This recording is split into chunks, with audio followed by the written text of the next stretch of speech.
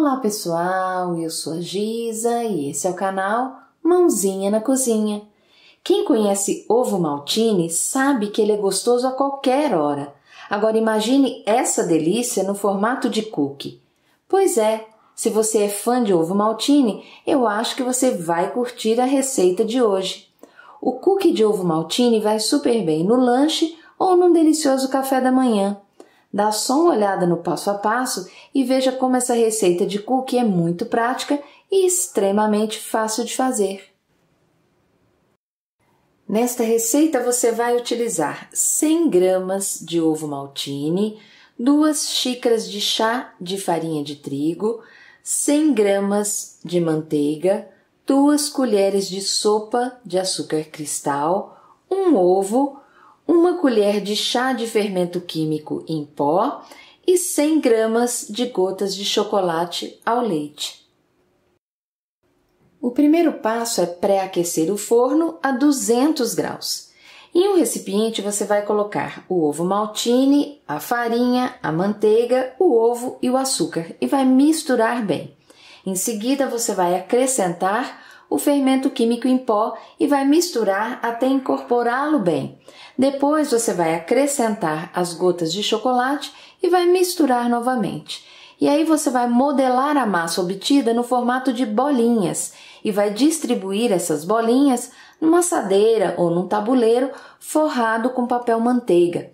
E você vai manter uma distância de mais ou menos uns 5 centímetros entre as bolinhas. E aí, com o auxílio de uma colher, você vai amassar essas bolinhas para dar um formato achatado, igual ao formato de cookie. Depois é só levar ao forno para assar por aproximadamente 5 a 10 minutos, ou até que os cookies comecem a ficar dourados.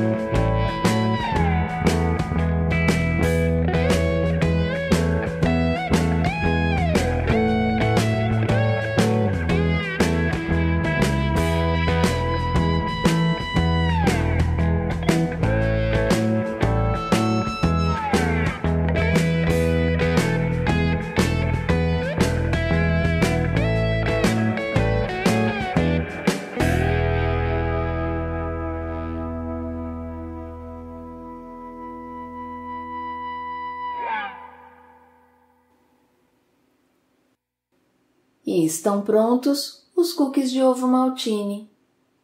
Para quem curte ovo maltine, eu garanto que esta receita é sucesso total.